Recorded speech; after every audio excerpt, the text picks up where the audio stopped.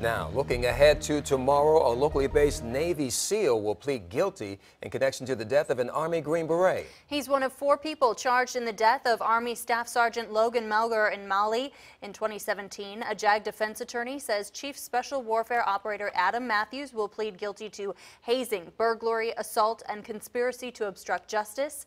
Matthews was originally facing murder and manslaughter charges. Matthews' attorney calls Melgar's death an unforeseen accident. He says Matthews looks forward to detailing the events and hopes his explanation will help assist the Melgar family in getting closure. 10 Side's Chris Horn will be in the courtroom tomorrow. We'll have updates throughout the day on air and online at wavy.com.